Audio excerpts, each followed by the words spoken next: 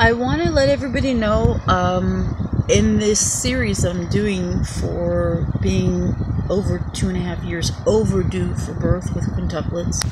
Overdue for birth by two and a half years. Uh, I'm over three years pregnant. I got pregnant January 7, 2016, where kidnapping crimes were and falsifications of records were done on me and these babies as means to conceal what was a tort claim to Department of Defense. They were going to make it like look like I wasn't pregnant by cutting the babies out of me. They had somebody do this, kidnap me and try to and falsify records and try to cut the babies out of me so that it would make me look crazy in the federal tort claim in the military tort claim I was doing.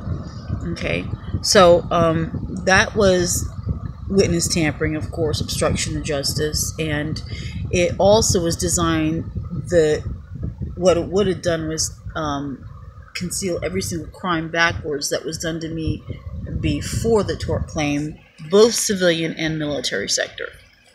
I've been a victim of severe crimes, MK Ultra, human trafficking, torture since 2001. And the pregnancy um, crimes done to me uh, since 2016 are designed to not only conceal the tort claim um, issues on Department of Defense, the fact that I'm being left in the military so many years past uh, ETS, ending time in service, to conceal all the crimes and make it look like I'm out, but I'm really in, so that I just get no um, equal protection of the law at all. And I'm not getting any in civilian sector either, so that I'm totally enslaved and um, I get threatened every time I want to go for habeas corpus that I will be kidnapped and murdered.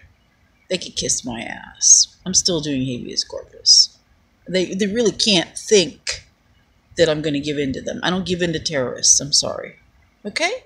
So, anyway, um, I just thought that um, I'm I got pregnant with an FBI agent's baby January 7, 2016. I loved him very much. I still have love for him. I don't know where the hell he's at.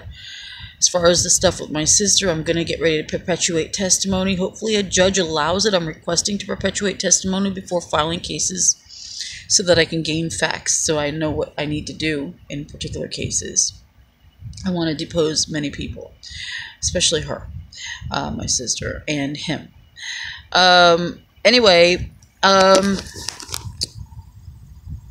so I got pregnant January 7, 2016. By January 21st, um, a series of interstate commerce facilities, people who are like um, clinics and hospitals, they were beginning to falsify records about the babies, trying to claim I wasn't pregnant, trying to claim I was having a phantom pregnancy so they could do a a Baker Act of some sort to try to paint me as crazy so they could cut the babies out of my womb and so that they could try to use that to say that nothing that I was complaining of in my federal tort claims had really happened. Of course, everything happened. And they were going to use all that to try to say I was crazy. And then, probably, what I gathered was they were going to um, sell the babies drink the blood, murder the babies, because I've had the experience in 2005 when my babies were killed by VA agents and taken out of me. Okay, now, so there were a series of groups of interstate commerce facility providers, meaning hospital people, clinic workers, ultrasound people, that um, falsified records to conceal this pregnancy. Uh, the very first one was a woman named Kathy at Hope Clinic on January 21st, where I went for an ultrasound. Uh, and she did a P test. And of course, I had many, many, I still have them, many, many P tests that shown I was pregnant. Um, you could see the progression of, I have pictures of my belly getting bigger. And my family, there's twins and triplets in the family. So I knew, um, you know, because my stomach was so big, that I most likely had a multiple pregnancy. Um, so I went to Hope Clinic um, in Oakland Park, Florida, uh, January 21st, 2016, and the woman began telling me, Oh, you're having a phantom pregnancy, even before I took the P test. She was trying to coerce me to believe I had a phantom pregnancy even before taking a P test. Now, let me give you a little history on my um, background here. I do not have sexual intercourse hardly ever. I love the baby's father so much that I waited for him for a couple of years, and we had intercourse one time, January 7th, early in the morning, 2016. I was ovulating then. The ovulation was a little delayed because some trauma happened to me a couple days before. You know, a victim of stalking and crimes, and um, it delayed the ovulation. And for all I know, that I was thermal imaged and they waited till my body temperature had risen and they went in and you know i was made pregnant january 7 2016 um, before that i hadn't had sex since september 4th 2012 and being spiritual i listened to god tell me don't don't you know just don't wait till you you know wait till you love somebody that type of thing. So i did wait met the baby's father in 2014, 2016. He came back around. Actually, 2015, the end of 2015, he came back around. 2016, we got pregnant without going into those details of exactly how. Then I'm going to save that for court. Um, I knew it was multiple. Went to the first place, like Hope Clinic, like I said she began trying to coerce me into believing that I was not pregnant so that they could later remove these babies. And uh, I said to her, Excuse me, ma'am. You're trying to tell me I'm having a phantom pregnancy when I've had and carried. A, I have a grown son. You know, I know when I'm pregnant. My all my home tests show two pink lines, like 20 home tests. I, I still have them actually. Yes, 2019. I still have the test from 2016 that I took before I went to Hope Clinic. And she says, okay, well, we'll do a test. She did one and said that I wasn't pregnant. Yes, I was pregnant, of course. I said, I'd like an ultrasound. Nope, she denied me the ultrasound because according to her, you have to have a positive pregnancy test to get the ultrasound. I'm sure I did have a positive test, she just wouldn't show it to me. So I left and went back February 8th and did another test, and she did the same exact thing committed crimes of falsifications of records and false statements and tried to tell me I had a phantom pregnancy. I said, ma'am, I do not have a phantom pregnancy. Stop the bullshit. Stop. Just stop. And I knew, I knew that she was committing crimes because I saw one of the government agents um, that followed me for years as a victim of MK Ultra organized stalking, really, really bad. Repeat kidnappings and return to return me to peonage over and over and over and over and over and over and over since 2001. Bloodying, kidnappings. Um, I was shot with poison pellet by a National Guard person and civilians. Terrible crimes have been done to me. I've been branded and burned on my leg with letter M. So that's just some of the crimes done to me. But anyway, um, I survived them, and I'm well still mentally because I'm a psychology major. I made sure to put myself through psychology school because during the middle of the crimes uh, um, going on, I knew that the crimes would get worse because I wasn't getting any kind of help from um, equal protection of the law. I wasn't. No one would listen to me. I called the FBI, they'd hang up the phone on me. I'd call the Attorney General's office, they'd hang up the phone on me. Okay, only once the Attorney General's office helped me in the kidnapping and bloodying of 2004, my dad, who was a Mason, helped me and kept me alive. Okay, um, and the Attorney General then was Charlie Crist, and his assistant, Mr. Dawson. The victims unit kept me alive. But after that, no help was there for me ever. So, Hope Clinic falsified records, falsified statements, try to get me to believe I was having a phantom pregnancy, which I knew I wasn't. Uh, come on, I've had a child already. My son's grown. I said, whatever. I went right to the store and bought a really expensive pregnancy test. 20 minutes later, took that test, went back down in front of her and showed her the P test, another P test with double lines. I said, go ahead and call it a phantom pregnancy, ma'am. Okay, you're falsifying statements. And she didn't say nothing.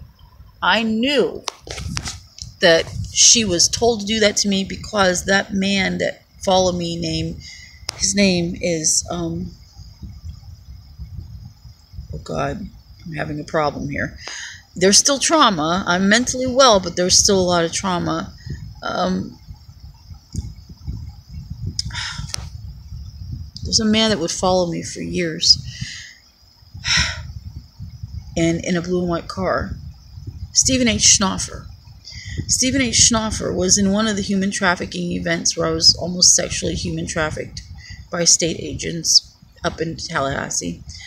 And they stole thousands from me and uh, federal benefits and were trying to human traffic me sexually. And he was in that human trafficking attempt and he has been following me for years. Well, he, he, he had been following me around town right before I got pregnant and like even if I go do a mammogram or go do anything with my body, even if I had a cold to go to the doctor, he'd be there in his car. Even on my jobs, he was at his car. He would stalk the hell out of me for years. Stephen H. Schnoffer was a psychologist. No, I didn't see him. I didn't need a psychologist.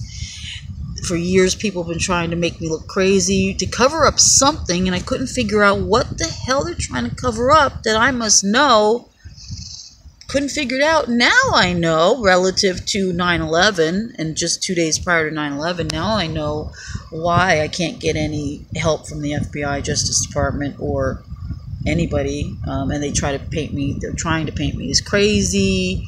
Their schemes and shit are not working because I'm trained well in investigations. So, and I've collected every piece of evidence you could imagine for crimes done to me. And so, um, trained in forensics and psychology and paralegal uh, and investigations. So they're having a hard time fucking with me and keeping me fucked with. Um, so Hope Clinic falsified records. There was major, major kidnap attempts going on even when Hope Clinic was falsifying records, January 21st, 2016, and February 8th, 2016. Okay, uh, Stephen H. Schnoffer would continually follow me. My cat was stolen, cat theft, catnapped, where they were luring me to try to go get the cat out to a dark, dark place way out in the woods. To, it was terrible, the kidnap attempts on me. Um, by February 10th, two days later, I went to Coral Springs Hospital, uh, Broward Health Coral Springs Hospital, and the doctor there, Dr. Fine, um, diagnosed me pregnant but I got up to the ultrasound room. The two girls up there, um, Kimberly Carey, and then there was a student one, I don't know her name, wouldn't let me see the screen. Now, how you know that they're going to snatch babies is they don't let you see the screen. And this is relative to 2005 when babies of mine were murdered by VA agents and snatched out of me. Okay, and that's another story for another time. Similar fact evidence here.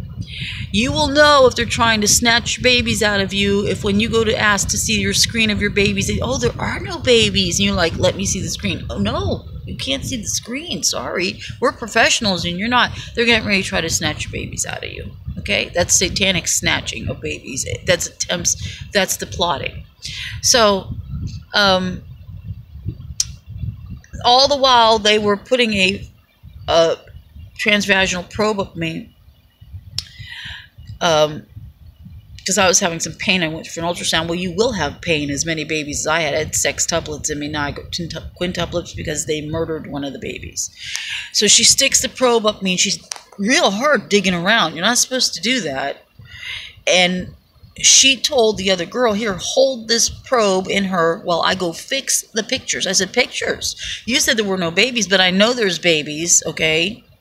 I know for a fact there's babies, so you're lying. And you won't let me see the screen either. So the other girl holds the probe, and um, she won't let me see the screen either.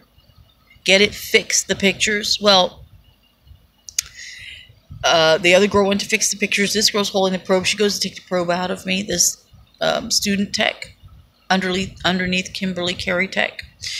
And a sac comes out like this big of blood, but it was like an egg sac, like a like a like a flesh egg sac with yellow in it and veins, and and so I knew it was one of the babies. Well, I thought I just had a miscarriage, which no, it was that she detached the baby when she was ramming that thing up me, and the baby came out attached to the probe. I was so in shock that when I went back in the wheelchair, I tried to grab the baby off the blanket, and of course, it just broke apart. I tried to take my baby with me. I wish the baby's daddy would have come with me. He was an FBI, he's an FBI agent, but he didn't come with me that night. And I told him we just had a miscarriage. I we don't know. I don't know if I'm still pregnant with other babies. I don't know. Well, after that, I went back to the hospital um, two days later. Well, let me go back. Or February 10th, that was February 10th when that one baby was murdered out of me. And a strange woman appeared. She was not part of the hospital. She walked around in boots and jeans and a red sweater. Then they put a lab coat on her. She kept walking back and forth when I was there. They put a lab coat on her. I don't know who she was to this day. And she started to say, Oh, you have tumors on you, and you have. She tried to make excuses for what my babies were. And of course, she says, Come back in two days, even though you had a miscarriage. I went back in two days. She looked at me and said, She came back. I'm sorry there are no tumors on you. Straight face because she knew what they were doing to me. And she says, Just know that you don't have any tumors on you, okay? And then she left. This is February 13th now, two days later, to go check the um, HCG levels. They would claim, all your HCG levels are too low. I says, No, because if you look at the amount of weeks in the chart that they have online, your HCG could be zero to something at a certain amount of weeks and then shoot up all the way up. Well, they were falsifying the HCG levels on me so that it would look low, so it looked like I had no babies. Anyway, but several charts show that in HCG levels early in pregnancy, some women don't have high levels very a couple weeks in. They just don't. Four weeks in, five weeks in, it'll start to change and double and triple. Now, so February 13th, I went back to a Dr. Lai at uh, Broward Health Coral Springs Hospital, and he started to try to tell me I had a phantom pregnancy too. I said, Excuse me. Uh uh I said, Go ahead and take my HCG. So the HCG was raised up a little higher. I said, I do not have a phantom pregnancy. I have a real pregnancy. I can show you all the pink lines. Stop trying to do crimes on me to try to conceal um, case issues in my military case. Just stop that. So he put his head down. He, he knew he was guilty, and he said, "Okay, fine. I just." He admitted that he lied. I just don't understand why your HCG is so low. I says, doesn't matter if it's low or what, because it's still very early in the pregnancy so with that, I didn't stay there long. I went back home. He told me to come back very soon. I didn't because I knew they were going to try to snatch these babies out of me. I knew there was a kidnapping plan. I told the baby's dad by text. I have all those texts. They're planning to kidnap these babies out of me and call me crazy like I never had any as a means to witness tamper and obstruct justice in the military tort claim that would expose all the crime. The military tort claim would expose war crimes, kidnappings on me, repeat kidnappings, horrible, horrible crimes done to me, shooting me with a poison pellet, 2012. So, um, 2003 war crimes, many crimes afterwards, shooting me with poison pellet, 2012, many crimes after that, and all the way into me filing tort claim finally after being enslaved and tortured and repeat kidnapped and many attempts of druggings on me. I've never done a drug in my life, never will. No pot. I can't stand the smell of pot. Nothing. I don't drink alcohol. So I waited until I had another um, issue of pain in my belly. Um, it wasn't the only pain in my belly. Somebody caused a loss of amniotic fluid in me by committing attempts of kidnapping on me and a theft attempt of theft of my military gear. So that caused a trauma of losing a lot of water and diarrhea, which I thought, I knew in between that I was still pregnant. Me and the baby's dad concluded, okay, you're probably still pregnant with the other babies. And I have every text that we've done since that date, since even before pregnancy, when he came back in my life. And um, I don't know why he's not around. Anyway, so February, I'm sorry, March 13th into 14th, I went back to the hospital for that diarrhea, loss of amniotic fluid from the crimes that somebody was doing to try to kidnap me the day before. It was trauma done to me and theft of my military gear attempts they were trying to do to, you know, if they steal military stuff slowly, like they just mugged me and stole my IDs, then they eventually say, oh, she wasn't in the military at all and she's just a liar and oh, she was crazy and oh, this and oh, that. Well, they don't get away with that with me. Okay. So, uh, March 13th and 14th, Dr. Omatzi sees me in Broward Health Coral Springs. I go back again, and for the diarrhea and loss of amniotic fluid, and no tissue came out, nothing. The babies were still there. And he goes and says, Oh, you don't have any babies in you. I said, Stop the madness. Just stop it. Okay, just stop. Stop. Stop that. And he's like, Well, we can't find any because they sent me up for another ultrasound. And the next tech, I don't know what her name is, I have to look in the record, she did the same thing. Oh, there are none. And they will turn the babies to little tiny dots. When I got the records afterward, they were little tiny. They turned the babies, the frequency down so low one didn't even have the sound on. If you don't have the sound on in an ultrasound, you're not going to get a picture because there's sound waves that create the picture. So they again falsified the records. Now, he claimed you don't have any babies in you. Really? So from one doctor a few weeks ago who diagnosed me pregnant twice, you're going to now claim there's no babies. Uh-uh. Just stop. Stop trying to commit crimes like the other techs are doing. Just stop that. So I, he goes, I said, well, maybe it's hiding. I was joking with him, you know, because I know that they were trying to plan a torture to try to say I was crazy. I know that. And snatch the babies. I began to dig during this time. Many doctors in the United States were telling many women, there's forums of women, uh, and what do you call those, blogs discussing how they were told by the doctors there's nothing in their womb, and they go, oh, but we need to now book a DNC. Dr. Omatzi did the same thing with me. We now, we now need to book a DNC. Wait a minute. Stop the music, I said. I even told baby's daddy. I got on the phone with them the next day. If there's nothing in there, why would you be trying to book a DNC if there's nothing in there? Don't fuck with me. Don't screw with me because it, it ain't going to happen. And immediately, I never went back to Broward Health, and of course, I didn't book the DNC because I'm not going to murder my babies. Well, I began to read how many women did have the DNC where they were really pregnant, and number two, how many women just waited with their husbands, and of course, they knew they were pregnant, and out came a baby months later. Okay, so, um, you know, the babies were born after the doctors would lie to them. So there's huge, 2016, huge, huge um, events of fetal kidnappings out of the mother's wombs by lies. Okay, by the doctors and techs. Now, and I did research online to find it going on. So I told the baby's dad, this is what they're doing to me. Baby's daddy didn't take it too seriously. I don't know. I don't want to go into what he is doing or has done in his crimes of, of keeping me pregnant over two and a half years. They are crimes. It is child abuse. Title 18, Section 1841, Unborn Victims of Violence Act, and um, uh, Article 919, Section 119 of the UCMJ Uniform Code of Military Justice, since I'm still in the military. These are crimes against babies. No one will allow me birth.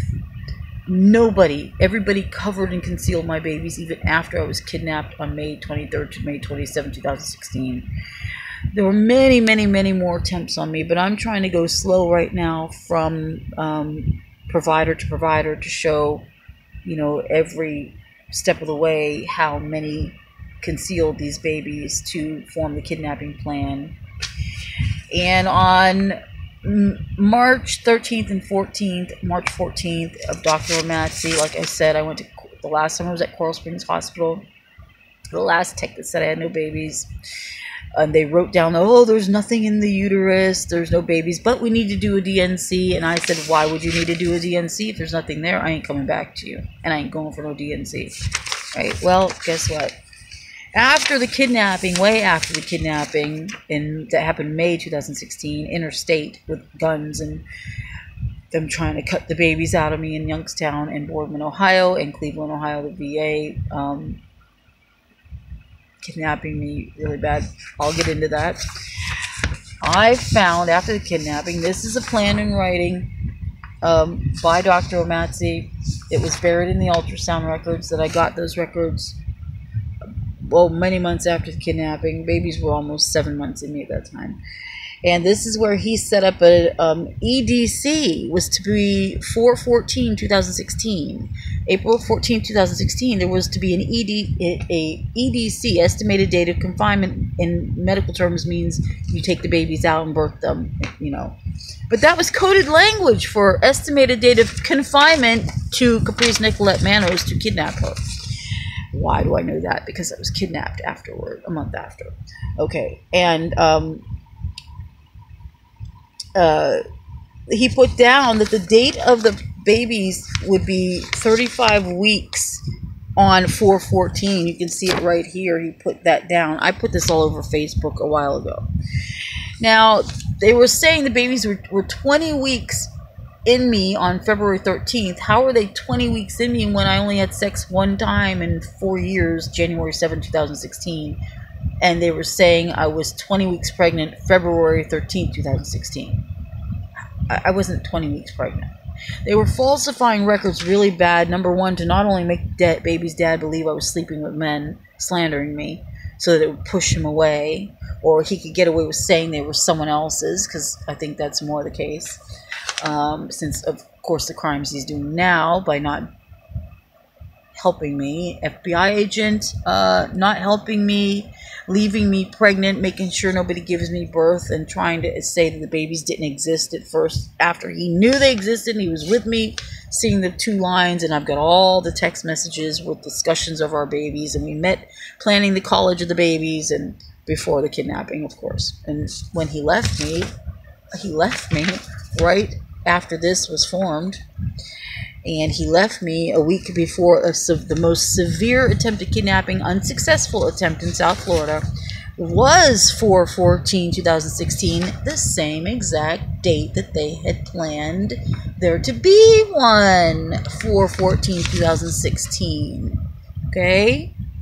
So, March 3rd. March 13th and 14th with Dr. Omatsky 2016, he wrote a big plan in writing to kidnap these babies while falsifying records saying there were no babies in me. So they have triple sets of records each date, first saying I'm pregnant, then saying I'm not pregnant.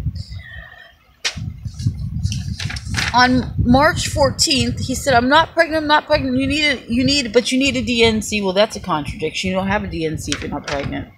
Okay, so I knew that they were trying to kidnap the babies out of me. He goes and secretly writes on that date to go ahead and kidnap me and the babies 414 2016 and puts down that I would be estimated 35 weeks for of uh, pregnancy. Excuse me? For delivery 4D. Um, no, I wouldn't have been 35 weeks pregnant on 414 from being pregnant January 7, 2016. Okay. And they were doing that to falsify the records so that they could snatch these babies out of me, fetal, so that they could, oh, sell them, eat them. I don't know what they were going to do with them, but I surely wouldn't have been uh, 35 weeks pregnant on 4 14 2016 from first having gotten pregnant January 7 2016.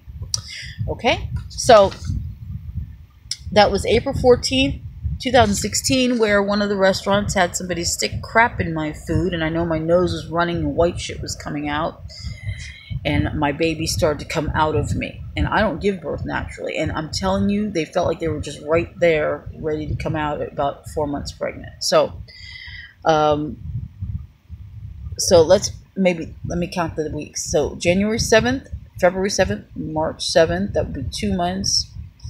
Um April 7th, three, I was about three and a half months pregnant.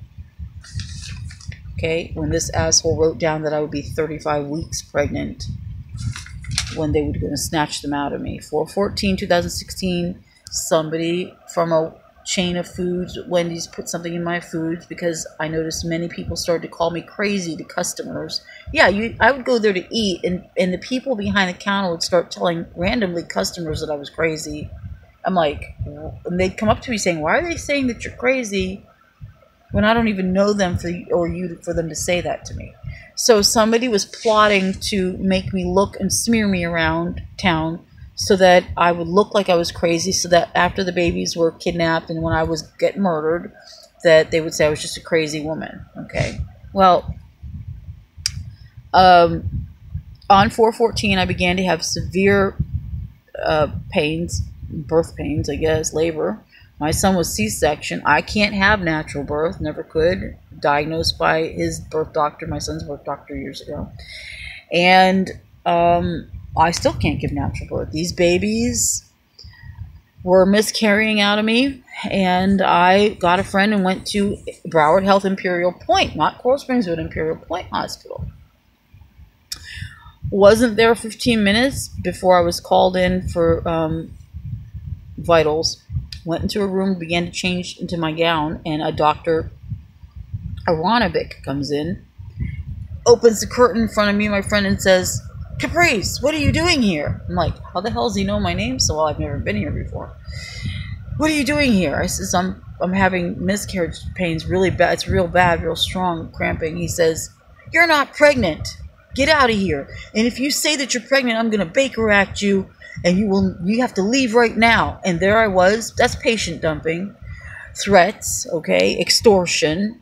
Um, there I was in so much pain with it. felt like a baby's head was going to come out because the babies then were very small, and it probably could have passed through me if I really, you know, didn't try to keep it in. By that time, the fear was so great about being kidnapped, and exactly what I told the baby's dad was happening. Okay, they were trying to say I was crazy or paint me crazy so that they could snatch me and rip these babies out to cover up all the military tort claim stuff war crimes done to me. And I still couldn't figure out why all these crimes are being done to me from 2001 till now. Yes, I saw something prior to 9 11, two days prior, that did have something to do with trade centers. Yes, I reported it to the FBI. Yes, the FBI has been treating me like shit ever since and not giving me any help at all, or the Justice Department, or anything. Okay, so it didn't dawn on me until after I was kidnapped um, May 23rd to 27, 2016. I had to really think of what it was and why, even after that kidnapping, where they try to rip these babies out, more kidnap attempts. I had to flee to Gainesville, Florida. Why did they keep wanting to do this to me? Even recent kidnap attempts. Recently, January 5th, another kidnap attempt, and it's only March. Okay, why so many? Why try to human traffic me sexually? Why try to drug me many times? Why shoot me? Why steal all my money to become an attorney? The Department of Education stole Pell Grants and loans. Why every school shut me out? They all work towards a culmination to try to make it look like I was some mentally ill or challenged person that never went to school, that didn't have any work or jobs, and um, through the blacklistings, I still keep working. I don't fail to thrive, and that's the problem they're having with me. They think they thought that if they could strip me of my jobs and blacklist me every two weeks, I get fired for no reason. So I had to turn to labor and construction. And even in that, just weeks ago, somebody else tried it there. I fought and I got to keep my stuff, my job, but on the average, if I go to a regular job, I'll be fired in two weeks by the time the state gets the new hire report and told we're not going to tell you why. We don't have to. So